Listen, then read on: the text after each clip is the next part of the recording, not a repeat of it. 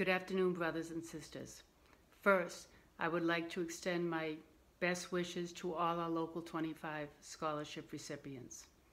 Since my last report, negotiation updates, Greater Lawrence Sanitary District. During the past month, we have met three times via conference call. We have reached some tentative agreements.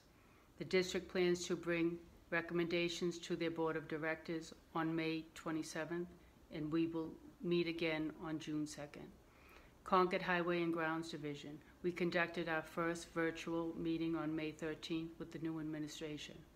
The union presented a comprehensive proposal package at that time.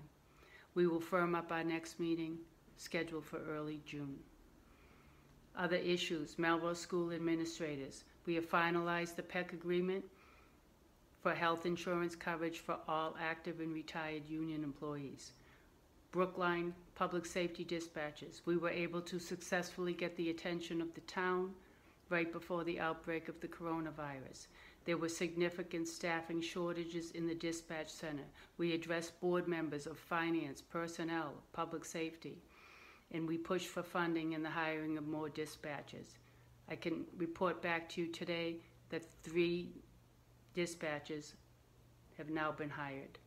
City of Chelsea DPW, we will be meeting with city manager next week to discuss impact to our essential workers, as well as the anticipated July 1 transition, which will bring all water and sewer functions under this unit.